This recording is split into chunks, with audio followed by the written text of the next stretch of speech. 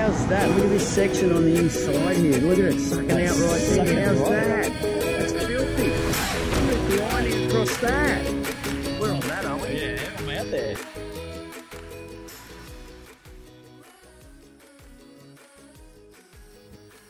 G'day and welcome to the Paddle Out. I'm joined again by my co-host Shane Horan.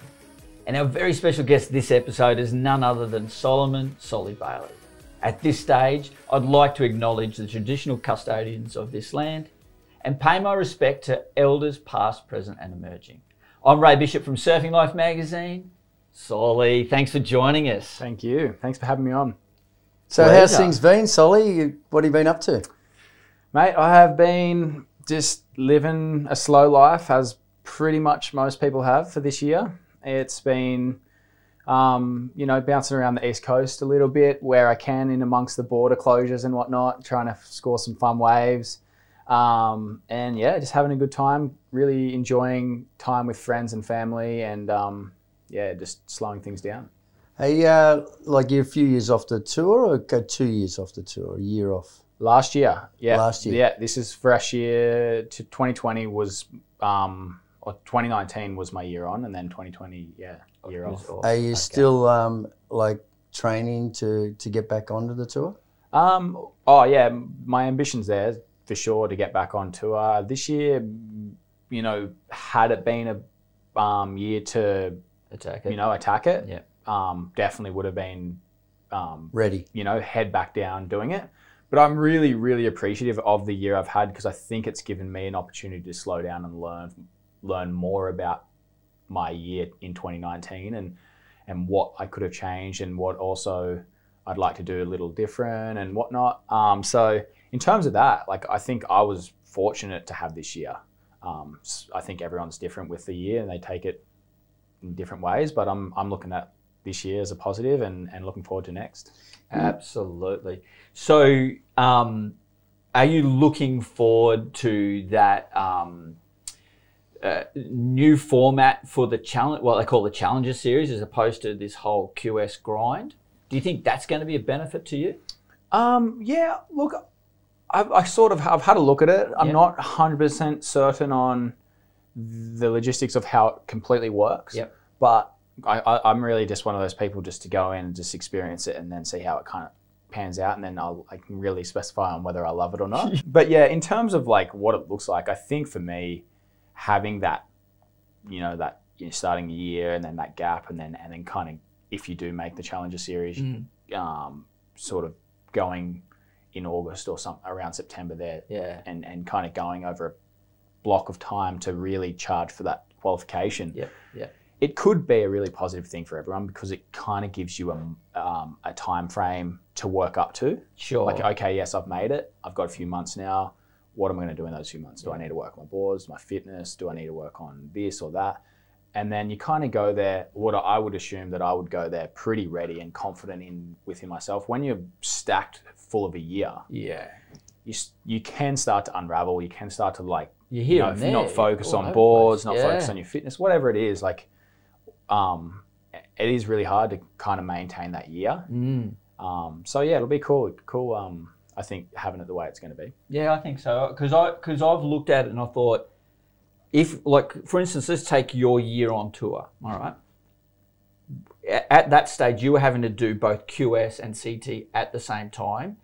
If you wanted to keep your QS high enough to requalify, if you didn't requalify through the CT, mm-hmm. but if you look, if you had it the way they're looking at having it, it would go, all right, I only have to focus on the CT. And then if I fall off, I've got that chunk to requalify again, and only the top level are in that anyway. So I'm not having to grind out at 1000s and 3000s and all of that. Yeah. So it would have given you that clarity through that period without having to worry about should I go to Spain? Should I go to the Azores? Should I go? Yeah. Exactly. Because you could get pulled to the four winds. Yeah. No, for sure. I, I reckon it's. I think it's a good format. I think, I do too. Um, yeah, I think it's going to be a pretty positive for everyone. Um, yeah, I reckon. You know, even even like spending a year on the QS, you get pretty like focused on those small waves. So then you come against. You actually come up against tour surfers throughout that year, Yeah. and a lot of the time, I noticed I would surprise myself and do well against them Yeah. because they're so immune to such good waves and and their format of the CT that you actually come off better and and Sharper. sometimes you you beat them, you know, or, a lot of time you actually beat them. Yeah. Or whether it's they're not really their heart's not in that because they're going for a world title or they're or they're you know they're just focused on the tour, but you are you're sharper. Um, not all the time, but it, it does happen. I think with the new format, it, it could really allow the performance of the best surfers to focus on that area, whether it is the Challenger Series or the Tour, Yeah. or even just the QSs in your domestic region. Yeah. And I think one of the things that's really good is the guys that are, are qualified can have a break. Yeah, that is that's the other thing too. Yeah, I think you'll see a, bit, a, a better performance out of, of those guys with that break too. You know, um, any every sport has a break, and we Which were probably we one never- of the, yeah. one of the only sports that haven't got a break. What about his era? Yeah, How many, we, how many we, a year we, was it? We were. I was on tour all year for twenty years. Mm. You But know, wasn't just it the whole year. 20 Oh, something one events to- year? oh, more than that. We used to. We had to do like twenty-eight um, QS events. Wow. And then we had like fifteen um, other events. Yep. So now, yeah, I really like that idea of you only drop back to here, not back to the start where you got to push yourself through, get tired, and then uh, maybe make it. Exactly, Right? because at, at the end of that, you're like you're almost exhausted from grinding for the QS, Yeah. and then you're straight into the CT. Yeah, Is that how it felt? sure. Yeah, I mean, I, I think there was a word that really resonated with me, which was free falling. I think f- the beginning of last year, I was so excited, and I think one of my best performances personally, may maybe or may may or may not have looked like it, but actually was the Quickie Pro at D'Bah.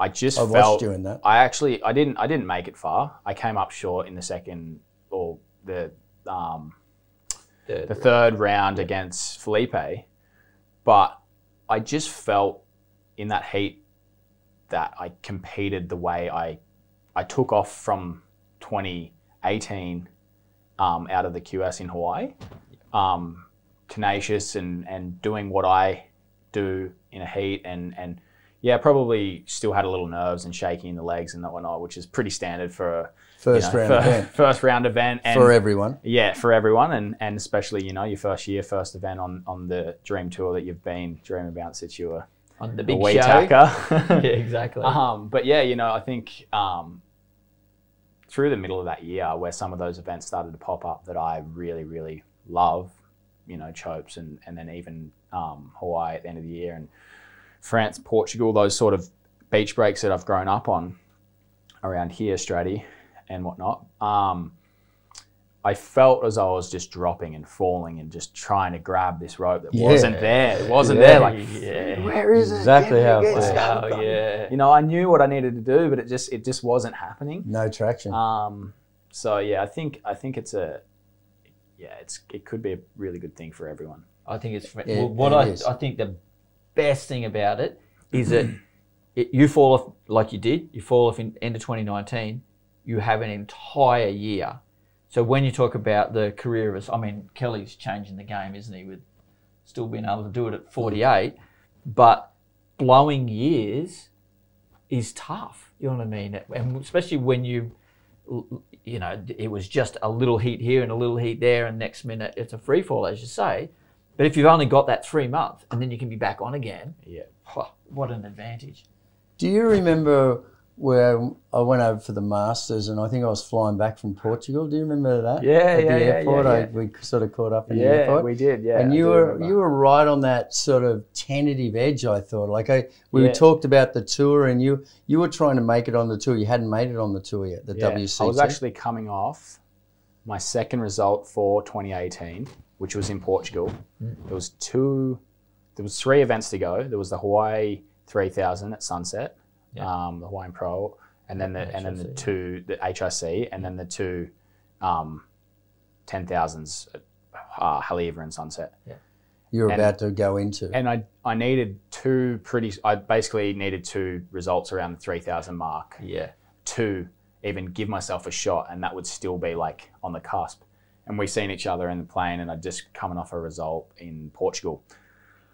Um, and yeah, you, you had some you you kind of we had a good chat and you gave me a bit of advice and um, Do you remember what we talked what about? did yeah yeah What I did he know. say? we um we I'm interested. What did you say? What are those gems? Come on, Soli, give us the gems. The only thing I remember, I, I mean, we talked about heaps, but the specific thing I remember taking out of it, which I'm not even sure whether I want to share because I want to keep it for myself. no, I knew we No. wouldn't get the gem. no, no, No, it's fair enough. no, look, Okay, Fair enough, because you know what? works to themselves, though. You know, Yeah. like Yeah. Keep it to yourself because you know what? A lot of that stuff I only share with certain people, yeah, yeah, right? And Okay, I- you you- know, and I know exactly what we spoke Yeah. about. You know what I like though? So- this is what I like. That I you said something and it made a difference, and that's Yeah. all Yeah. we need to know. And I Look, think that's great. I think there was a handful of things that mm. year, and that was definitely something that it just keeps you focused. Some things that you know you just all it really comes down to is getting your mind away from the task at hand sure. and just going and doing your job. Don't I- get too caught up in that moment. I thought at that time talking to you about it, I thought you'd you'd already psychologically kind of were almost given up, right? You had to have two results. I know you hadn't completed. you knew you had a chance, Yeah, but there was this um, lack of confidence there. There was something there, and that's mm. what we spoke about how to fix that up, mm. right? And then go away and do that, mm. and that's what you did. And then you came into the to that end of the season, and how like how did that go for you? Because that was your make or break to make it onto the tour, and you had to do well in those kind of in Hawaii. So how how did that go? How did you feel in the last event going into it and then making the tour? yeah. It's pretty funny, you know, because like what you were probably picking up on was the person I was there. I had been in that position two times prior to that. The first year I ever did the QS, I was pretty much in a. I was actually in a better position. Wow. I only needed to make a semi final in one of those two events, and I was on tour the first year. And uh, crumbled in, pretty much crumbled in both, um, which is pretty normal for your first year in anything. Like if you if you're not, you know, you're pretty green to it. Um, and then a couple of tough years. I think I got pretty close again at some point throughout those a four year process of, or four yeah four years I think it took. Yeah. Um, yeah, so I, I definitely had a little bit of a doubt. It probably wasn't necessarily that I didn't have any hope. It was just like, it's real. Like, this is hard this back half of the year. It's pretty, don't like get too ahead of yourself. Don't think, oh, you know, it's that easy. You just got to make a semi final. You know, you've done it before. Like, there's a lot of work, there's a lot of steps. It's There's two waves every heat, and they're 30 minute heats, and it's Hawaii. Like, one, one wave on the head, and 30 minutes can go like that. Like, That's right. you know, one board broken and that's the heat done. Like, especially at sunset. I mean, hell, ever when it's big, it's it's probably even harder. Yeah. Um, Especially if you get stuck in the Well, tour. Hawaii has those washarounds. Like Mm. you get hit by one set where you're just not out to the side enough. You get washed around once, it's over. yeah. So Oh, you just one little bit of positioning, Yeah. being out of position for three minutes or a minute of the heat, and and it costs you your whole year of, Yeah. of everything you've worked for your whole life. yeah, for sure. One set. Yeah. Oh, it comes down to an oceanman there. That's for sure. Yeah, absolutely. So th- to me, there was one little little precipice that you popped over, or that set this ball rolling for you to qualify, and you've got something special to show us for that. Is that right? Oh yeah. Some magic. Yeah, I do So- definitely have a little bit of magic. I All brought it along today, and uh, yeah, get you guys to have a little look. See. We'd love to see it. Wow, what's that? My Yeah, goodness. so this was 2017's Volcom Pipe Pro Trophy, and uh, I'm very, very proud to be holding it. this Hell was my uh, special thing that I got asked to bring along today, and yeah, So you won the contest. yeah, 2017 um, he's not. Pro he- Champ. he's no good in big waves. You know that. Wow, pipe. What a And it, I remember watching it. It was pumping, huh? Yeah, it was pretty. There was some definitely. Um, No, I I'm think- not talking 15 foot pipe. Yeah, I'm yeah. talking it was good proper pipe. There was good. Yeah. There was good backdoor. Um, it actually turned on really good for the final. Like the throughout the day, there was some moments of off and on um, pumping waves, and Yeah. um, the morning was pretty good. And yeah, it was weird. I really, I'm so glad I didn't, but I nearly paddled out on my 511 shortboard. Which I do ride a lot shorter boards in Hawaii Sure. than than Most. than most, and Yeah. definitely than your era. Yes. Um, but yeah, I paddled out on a six three, which is pretty much my go to roundabouts backdoor Yeah. six six to eight foot pipe board, and um, Jeez, I'm glad you did that. seriously, the first set that came through, like first real set that came through, I was like, "Where's my six eight? Wow. uh, I wore it on the head, broke my leash. The ski picked me up, and I, I think it broke maybe mine and Bruce's leash. And D'Souza actually might have got a wave, and I think Griffin was paddling out from the right, and he he scraped through kind of like backdoor, Yeah. off the wall zone there, and Can I have um, a look at it? yeah, here you go. we, we want to know does it does it fit? Oh Does- can you wear it? It doesn't. I, you know, if I had have had this before the event, I might have been able to fit on my head. But once I won, my head It grew, got too big. got too big. No, no, I was just joking. But Look um, at that. yeah. That's insane. This thing's so heavy. Wow. Look at that. It- gonna, you know you- that's something you keep for life, isn't it? Yeah, you know, it actually, feel I had of to go over this morning, Oh, early wow. this morning, and um, pick it up from my old boy's house. It stays at it stays at his house. Sleeps he sleeps next to it. It's got Does he? It's It, got it some stays in his bed. He stays in his bedroom. He's. Did Uh, you did you have a beverage out of it? I haven't. That's. Oh, know you haven't celebrated No, with I it? haven't had a beverage. Oh, out I thought it. you would have filled it up with I- champagne and. Oh, I had some mai tais that night from Lalo's, but um, It's they, got didn't, some. they didn't come out of that. It didn't come out with. Oh it. my! Well, some you'd never get it up to your mouth, would Yeah, you? yeah. I've been paddling pipe all day. I can't lift it up to drink. Well, they're, they're the old Hawaiian um, warrior shields, you know, Yeah. like, you know, Yeah, the they Captain used to, Cook that, days. Yeah, and they stuff. used to wear them and and uh, fought everyone off. Hey, That's Yeah. amazing. Well, the Hawaiians are so- warriors. Yeah, they are. Exactly. And tough. so, obviously, eh, Hawaiians being indigenous to Hawaii, Mhm. we'll get onto that. I'm gonna. I'm throwing this as a like foreshadowing. We're going to talk about your indigenous heritage as well in a bit. Yeah. Like, let's keep talking about pipe, pipe. and then you know, yeah, keep unfolding the day. I cut you off before because we we were talking about this, but um, you you snapped the leash. Yeah, yeah. Connor so got out. yeah, that was the the day. Kind of just felt like I think it was a long stay. It was a two week kind of period of pretty on and off waves, and then and then I think it ran. One day there was way like one heat, and then the next day was like there was like five heats or four heats. Yeah. it was like bang, bang, bang, bang, final, and um. Do you Yeah, it prefer it sh- that way? Oh, I mean, after that, maybe after that day, I don't know. Sounds like you do. Looks like you do. Yeah, yeah. So I don't know. It was kind of one of those days that just it. It was a massive day. I was exhausted at the end of it, um, and didn't feel a single thing besides stoked out of my mind from winning. Um, but Wow. yeah, it was the paddling out in the final. I think that day was like just pretty surreal, and I was just a bit shocked and kind of just going with the flow of things. Yeah, and right. everything had sort of been working. I did, I think the semi final um, was a cracker. I had some really good waves in that, and then going into the final. It um it really just turned on. The waves started pumping, Yeah. and I wore that set on my head and was like actually quite bummed. I was like, man, that was a you know that was an eight or ten point ride. Thank God no one got that. Yeah, right. Um, but you wish you had it. That's I mean, why you were obviously, bummed. we all we all wish we had it. Um, and then yeah, sort of just flowed on from there. I ended up kind of lingering around the, the bottom of backdoor, and and um, I think I ended up with a handful of really really nice waves. Nothing that blew my mind in terms of like what you can get out there, but um, It was a little bit crusty. final. it was a bit crusty, yeah. Just like just like you know, kind of like um, sectiony with that trade wind and whatnot, which it, it, that day played in my favor, and I'm super super stoked with it. Yeah. Give us the. I, I know the lead up story, but so this is for our audience, and maybe Shannon, I don't know whether you know, but tell me about the discussion you had with your old man Yeah.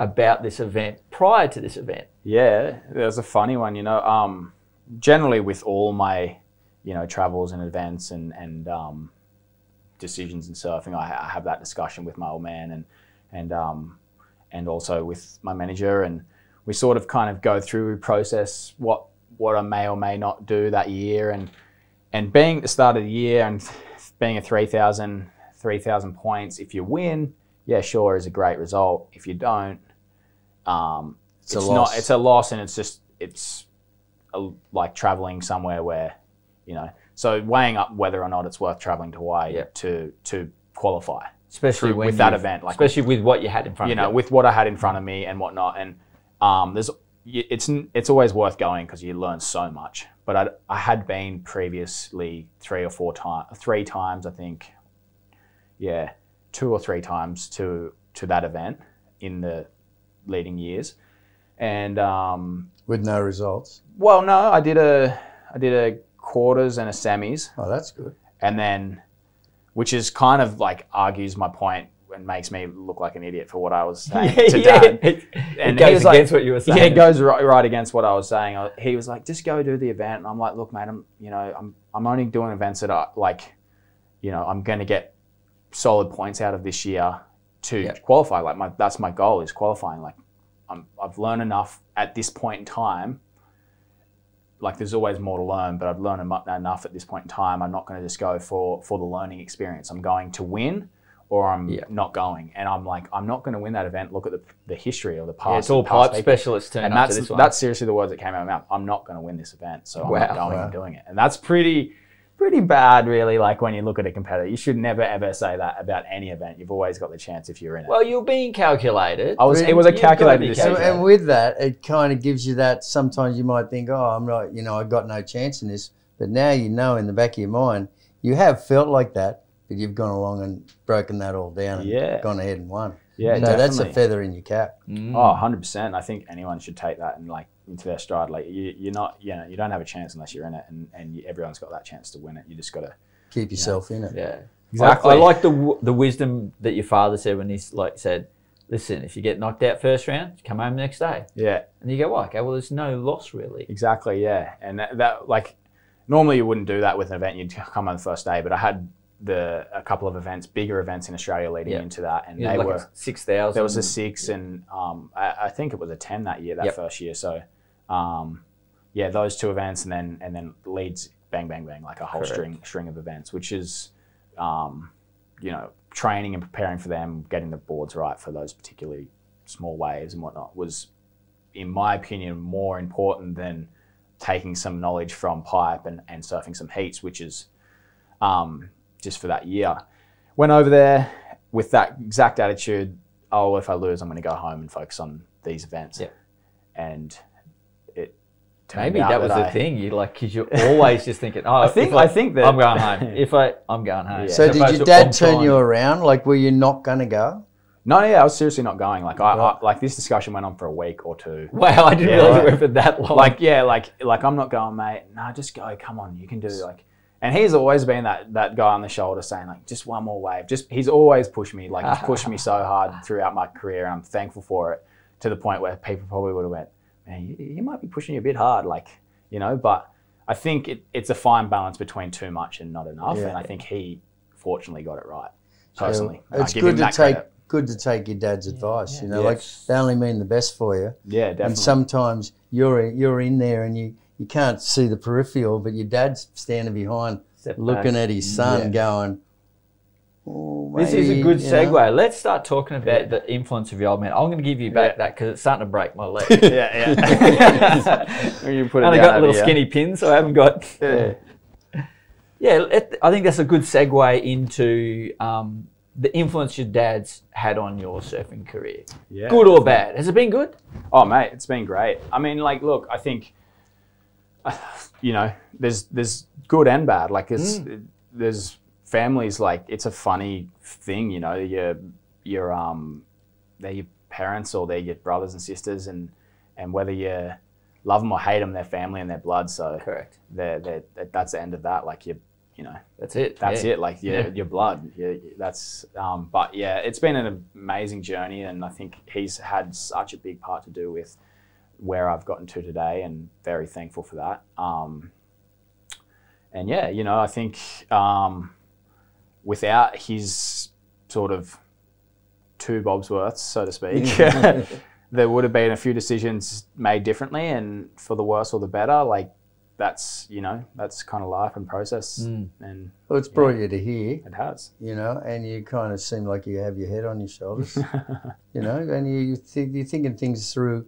like a smart smart way of going through. Yeah. You know, you're not just um, going head into all these situations without having a bit of forethought and a little bit of planning and, you know, and a little bit of going with the flow of it. Like I've always liked watch what like I started watching you surf when you're in the Indigenous events, Yep. and I think you might have won the one I saw um, down at Bells. They were great, weren't they? Yeah, Going to they're, awesome. Yeah, I think they're still they're still going. Well, obviously not this year, but yeah, Yeah. next year they'll be kicking off again. again. And then I saw you a few times live, and you know we've met each other and through Yeah. times through mutual friends and, and meeting and stuff. And um, I've always and I said this to you one day on the beach, like you you you you work well with structure, like where you Mm. go, oh yeah, I'm going to go there and do this. But I see you break down structure. I see you in the ocean sometimes.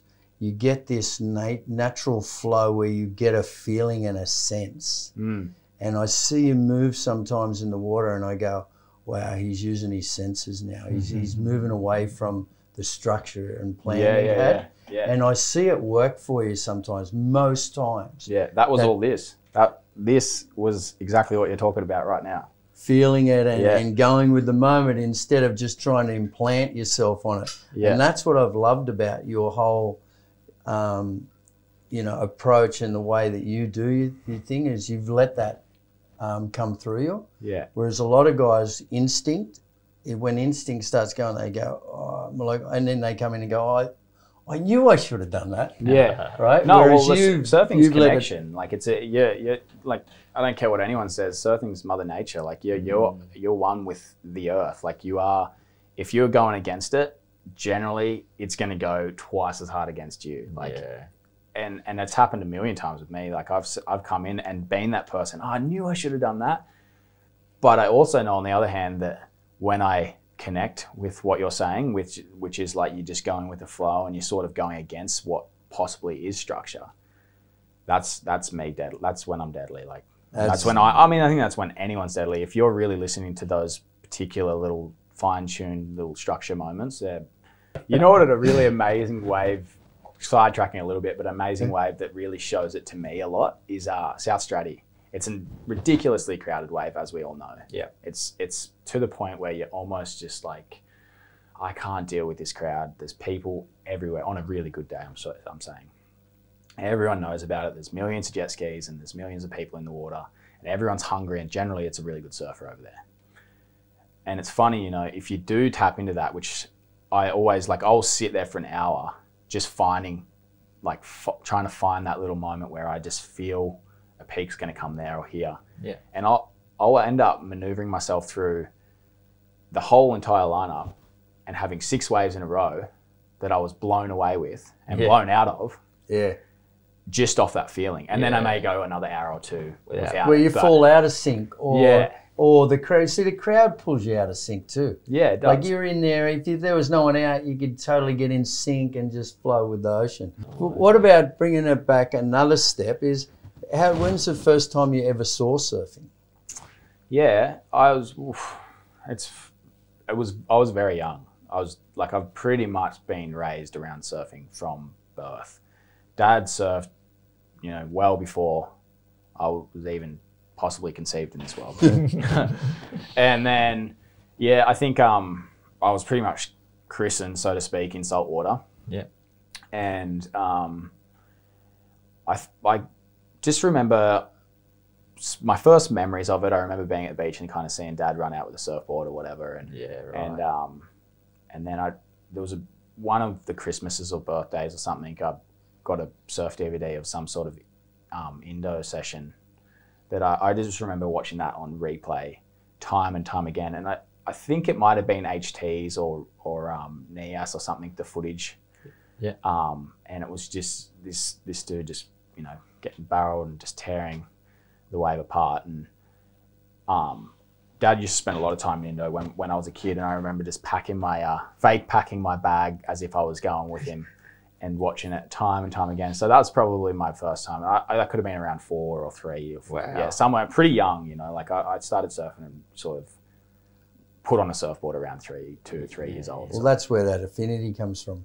Like you've grown up in the, that's your been your playground for so long. yeah, exactly. That's where you've got it. It's Yeah. just you've grown up in the water. when do you reckon the first time your old man pushed you in? How how old do you reckon? Uh, there's there's there's photos of me standing on a surfboard around three. Oh, four years wow. old. Yeah, like Wow. yeah. I was I was Surfing before you could walk. surfing before I could walk 100%. the way I learned how to surf was um, he would stand me on the board, on his board or something, and Yeah. run along in like at the pass in ankle deep water Holding and, and holding my hands on a tiny little wave like that and just sort of like, I'd just be obviously kind of like wobbling around and he'd just be balancing me. This is before I could even walk or stand properly. And I'm um, pretty sure you'd be walking by three. yeah. Oh, yeah, yeah, yeah, yeah. Probably, I probably like walking, but balance. was- Yeah, yeah, yeah. Um, and then, um, yeah, around four, I was getting pushed on and Just going. yeah, touching the Amazing. little wave and running along. It's good. Wow. That's so cool, hey? And what about um, like the indigenous part of your background? How, how does that come into fray? Like, you- Yeah. Yeah, that's through mum. Um, yeah, mum and um, that side of my family is indigenous, which comes down from we're from the Coffs Harbour area, kind of thing. Um, a lot of my intermediate family um, were uh, like all up around Byron and, and kind of Mullumbimby area. Like we all like my uncles and aunties and um, Gami, which is grandma. Um, I call her Gami. Be losing it if I'm calling her grandma. it wouldn't work. Yeah, it doesn't doesn't work. If I ever wanted to annoy her, that's how you'd annoy her really, really quickly. When I was a little shit. um, So, Coffs is Gumbangi. yep. So, you're Um, Gumbangi, yeah, Gumbaynggirr man, man, and Yaegl people, Yaegl people. um, which is part of the Bundjalung Nation. Yep. Um, which yeah is you know pretty broad. pretty broad. Yeah, yeah. A lot of language groups in the Bundjalung. Yeah, there is. Um, and yeah, so, um, and I think I think that's an also a, a, another thing that taps back to like that um, Nature. nature, and, Helps you and- connect. Yeah, connection. I, I believe anyway. Like I- I'm a mad keen fisherman, and I love going and, and hunting Yeah. and, and and sort of tapping back into that. It's a new age form of hunting, the way we fish now. Got freaking electronics and, and rods and all that. But it's actually nice sometimes to switch that off, or if it, if it just bloody doesn't work, which is more often than not what happens. So when you fish, do you like what? How do you fish? Like spearfish? Or? No, no, no. I, the I, I was fishing fishing rod? rod. Yeah, with Yeah, the fishing yeah. rod. Yeah, I'm, I'm s- a bit fearful getting in the water with uh with my mates. Oh, diving. and yeah, swimming, it's a- I, can- I know a lot of people that do it, but I just leave my luck to the surf. You know Yeah. when you're in the water and and like dolphins and uh, or on the land with kangaroos and stuff.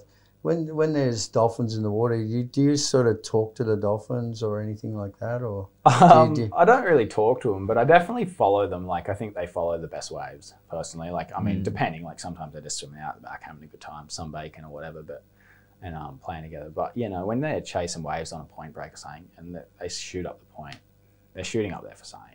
I always find with worth a dolphins, punt. like Yeah. eh, when I'm in the water and, uh, and there's dolphins around, Mm. I do this thing in the water where I go, "Brr, brr," and I, and I do it underneath the water, and I think, come here, come here. And I've been doing that since I was like 10 years old. Yeah, wow. And After you I watch have Flipper. had so Yeah. many dolphins come and swim under Yeah. me. And, you know, and I had kids this morning in the water, like I've Mm. told them about it.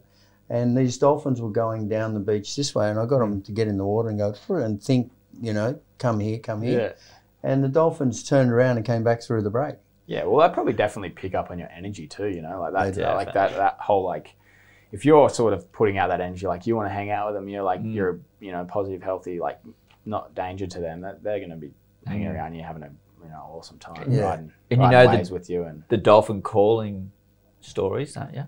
no, Oh, you should find that out as part of your mob. Otis's mum has got the story, so you Yeah. should look her up and yeah, yeah, yeah, yeah. It's uh something that I need to spend time and, Yeah. and really uh personally it, at actually this year is probably no better than any other year too because we have been a quite quite a slow year in terms Yeah. of work and whatnot with and traveling. So, but yeah, it's something that I definitely want to um, tap into is learn that culture and, and the history because it's just so rich and there's so much of Yeah. it. So amazing. Yeah, it is.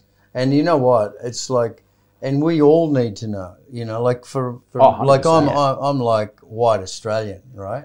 But that's our culture as well. Yeah, oh, and we, we everyone's, I want yeah. to embrace that culture as, Yeah. as well. Like you know, even calling it that culture, it's not really our my culture, culture, or our culture, Yeah. but our mindset needs to change. That it's our culture and our people, and you know, Yeah. and that's we need to sort of you know get those threads through all the way around, so we become this one nation. I was interviewing Otis for a couple of years ago for one of our um, articles, and because one of the questions I said to him, I said, "Do you think white Australian has a really thin culture? You know, like it's based on thongs and meat pies and Bermuda socks. and yeah, yeah." And he goes, he said, "No," he said, "You've got the oldest culture in the world. You can be part of it. You Yeah. live here. That's your culture. Yeah, so you can have 100%. that culture, not this fake Yeah. one that I'm talking about. The about." culture's here for everyone. yeah." Go and learn Join it. in. If you Yeah. want to learn it, you don't, hey, don't you don't. I'm not for forcing it on you, No. but like, or no one is like, I don't even know any of like a, a half of it. Like I'm, Mm. I'm going to at some point in my life learn all of it and and really really enrich myself Yeah. with it. And you and you and everyone here or anyone in the, this country or for that fact the world, The world, Correct. yeah. Find Go their on, indigenous yeah. First Na- First Nations 100%. cultures, learn it. It's so rich, yeah. This, yeah. Now we um um I was pretty stoked because we got to do an article on you for the latest Surfing Life, and it's literally hot off the press, and I've got a copy for you, Oh, and you haven't seen it yet. So Yeah. here, here we go. Here is the that's the opening spread. How's that one? awesome. Ah, man, I remember that swell. That was a cracker. Yeah, Can't yeah. wait. The, we're just around the corner from uh, From a bunch of those, Yeah. I think a bunch of those are coming this year, and I'm going to be ready for it. I'm home and and uh, excited. I was actually sitting in the water this morning, and it was ankle to knee high, it's terrible, if that, mate. and terrible. beautiful conditions. But I was just thinking, man, I just can't wait to be looking at a six foot wave coming at me. Exactly. so, Soli, thanks for coming in. Thanks for letting us do an interview for Surfing Life. Shane, it's time to Paddle in. paddle in. From the paddle that. out. yes, exactly. yeah, no, Massive thank thanks. you. Again, Shane, great Fantastic, job. Soli. That Yeah, was absolutely. excellent. Look at that. you There really, it is. Really, thanks for sharing your your experience and Yeah, you know showing us who you really are. You know, and it's only a touch of it, but we know. such a beautiful soul. Could do it. Yeah, Could do it for thanks, hours. and might do it again. Yeah. Guys, thanks for watching and tune in again next time.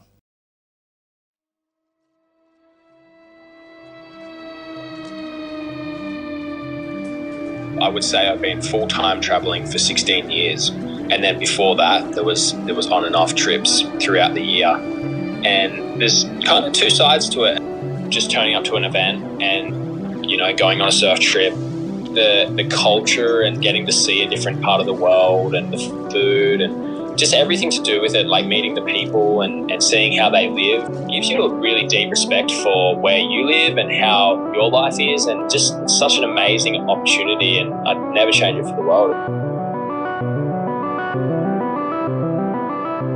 Me, competitive surfing from a very young age, I knew that that's sort of something that I wanted to achieve.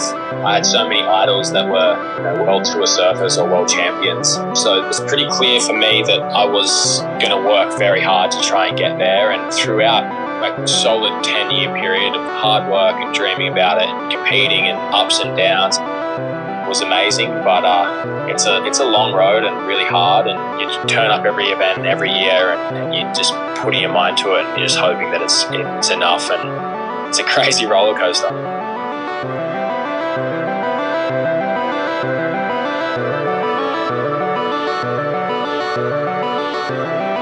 competitive surfing gave me a lot or gives me a lot in terms of like how I grow as a person because I think you really need to understand yourself and how you tick to be able to go turn up to an event and do well. You know, it's your mind that gets in the way of things and, and being like settled within yourself, being a good person day to day is, is a massive thing towards all of just life generally. Whether you're competing or not, like if you can tick those boxes, you're gonna have a good life. It's just a constant journey of learning and evolving.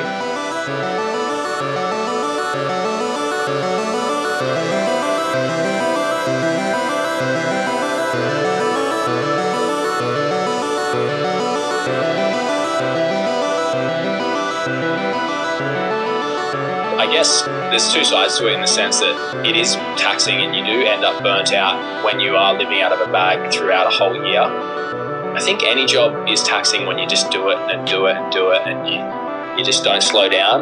And when you do slow down, that's the moment where you get to appreciate it and you realize how much you love it. And if you don't in that moment, maybe you're not meant to be doing it.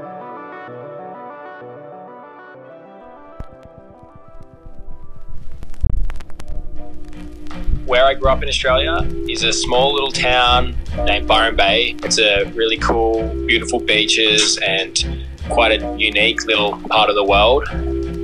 Having this time at home, and you know, like I really love fishing and I love being out in the bush and nature, and it's just been really cool to kind of do that and, and slow down a bit.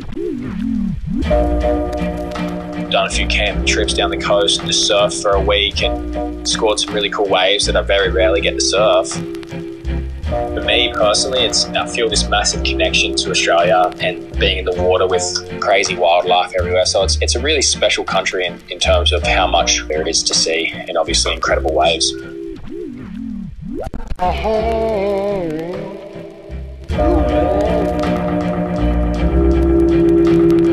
Growing up and identifying as an Indigenous Australian, having the opportunity to represent with the flag on my shoulder and try and be a really positive role model right throughout Australia, and it's just the beginning of really special, cool opportunities.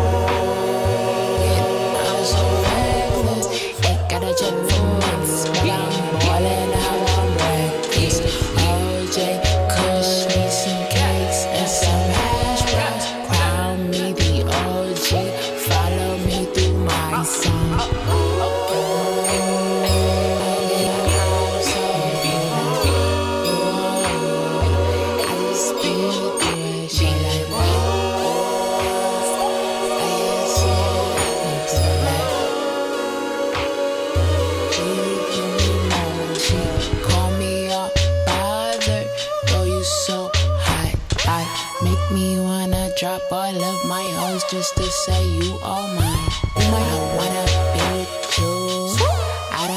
this way. I'm talking like I knew you before.